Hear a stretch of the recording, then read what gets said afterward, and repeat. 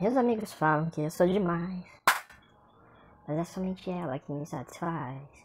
É somente ela que me satisfaz. Clássico.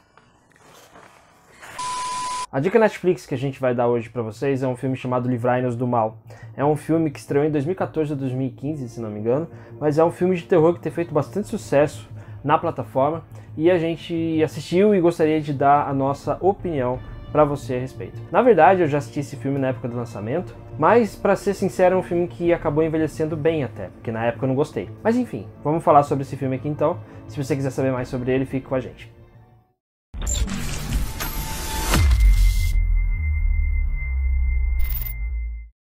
Antes de começar, mais uma vez, queria pedir para você se inscrever aqui no canal, seu feedback é sempre importante pra gente. Também queria pedir para você clicar no sininho para receber as notificações dos vídeos novos que a gente lança aqui toda semana, tá bom? E também a gente está nas redes sociais, se você quiser acompanhar a gente, nós estamos lá, só seguir. Esse filme ele conta a história do Sartre, né, que é um cara que é um, ele tem um passado católico, só que ele meio que perdeu a fé, ele se afastou das questões religiosas e tal.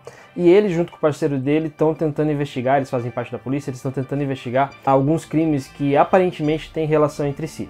Em uma dessas investigações que ele faz, ele está tentando achar uma mãe que jogou uma criança num fosso que fica do lado da jaula dos leões no zoológico. Então, é um crime bárbaro, obviamente, e ele está empenhado em descobrir o que realmente aconteceu. Ele acaba encontrando essa mulher, ele acaba encontrando essa mãe, só que quando ele encontra, ele já, ela já está num estado assim é, completamente alterado, ela começa a falar umas palavras sem sentido, começa a balbuciar umas coisas, e aí uma situação vai levando a outra, ele e o parceiro dele vão puxando esse, esse novelo, né? Puxar o fio do novelo e vai descobrindo várias coisas, várias coisas, que acaba levando ele a uma situação sobrenatural. E é aí que o filme começa a se desenvolver de uma forma mais profunda no tema que ele já mostra no seu trailer, que mostra no seu cartaz, que é a relação com os demônios, com situações que levam também à busca do bem e do mal e essas coisas todas. O Sight nesse filme é interpretado pelo Eric Bana, ele foi o primeiro Hulk, é, que foi daquele filme lamentável do Ang Lee, aquele filme tristíssimo, de triste lembrança, filme ruim do Pra ser bem sincero com vocês. Aquele de 2003? Aquele de 2003, aquele filme é ruim, desculpa. Eu assisti aquele filme na Record. Primeiro, pra começar, quem assiste Record? Foi na época que não tinha como baixar filme ainda na internet. Uhum. E eu não tinha assistido. Tô revelando minha idade, deixa quieto, continua. e aqui ele interpreta o Sashi, ele interpreta esse personagem com bastante vontade. O Eric Bana ele tem facilidade em interpretar homens que têm problemas com passado, que são pessoas que têm, como é que fala? uma vida tribulada, que tem segredos e não sei o que. Ele já atuou em algumas séries nesse sentido, em filmes também. E ele tem facilidade para interpretar homens atormentados, né? Que são aquelas pessoas que têm passado difícil e têm relação conflituosa com as histórias antigas do passado. E mais uma vez aqui ele dá conta do recado, é um papel que exige bastante, né? Não é todo ator que consegue fazer, porque ele vai mergulhando cada vez mais fundo nas suas próprias paranoias e tal, e ele vai descobrindo essas coisas, né, que a gente não pode contar caso você ainda não tenha visto o filme, ele vai descobrindo essas coisas todas, e isso vai deixando ele cada vez mais numa rede de situações que é difícil escapar.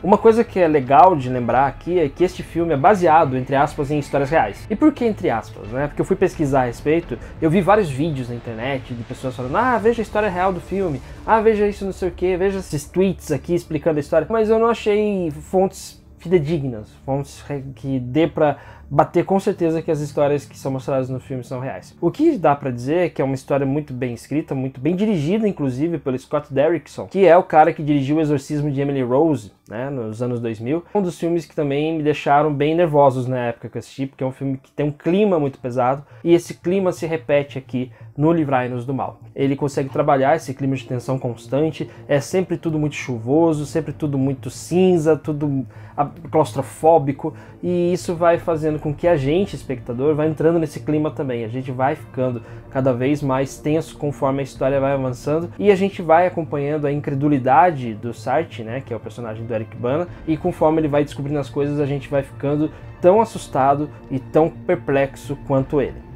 E claro, tem algumas situações nesse filme que acabam sendo até um pouco mais bizarras do que o habitual. Tem uma crucificação de gato neste filme. Eu assisti e na primeira vez eu dei risada. Agora eu achei melhor, mas na primeira vez que eu assisti eu achei, tipo, pra quê, né? De gratuito isso. Mas tem um, um, um significado, tem um enredo e tal. E tem muitas, mas muitas referências às músicas e à própria banda The Doors. Então você vai uh, ver algumas dessas referências. Se você acompanha a banda The Doors, você vai reconhecer várias delas, tanto em música quanto a referência à própria banda em si. Essa mistureba, né? Essa coisa que eles fizeram com o filme, acaba sendo um filme bom, acaba sendo um filme legal, um filme bacana de assistir, principalmente se você assistir à noite, bem concentrado, sem ficar ouvindo que nesses barulhos que a gente tá aqui fora, às vezes eu me desconcentro por causa desses barulhos que fica aqui dos vizinhos, ó. Isso vai fazer com que você entre melhor dentro desse clima. E lógico que o filme também ajuda, como eu falei, a fotografia do filme é bem é, pensada para deixar a gente tenso. As atuações são sempre tensos, o Eric Bana tá sempre com aquela coisa encurvada, assim, parece que é um homem que tá carregando o mundo nas costas e tal. Tem uma trilha sonora também que é bem característica de filmes de terror e que faz com que a gente também fique bem tenso conforme a gente vai assistindo e avançando nessa trama. Então, para nós aqui do canal Cicotons, este filme recebe a nota 4 estrelas, então serve aí como a nossa dica Netflix Netflix para que você possa assistir esse filme enquanto não estreiam os outros filmes ou as outras séries que têm a temática de terror. Essa semana vai estrear, né? Vai estrear Curon, que é uma série italiana de terror, e também vai estrear o Reality Z, que é a série brasileira de zumbi, que tem a Sabrina Sato. Vamos ver como vai ser isso aí. Mas, por enquanto, se você gosta de terror, este filme já é uma boa pedida.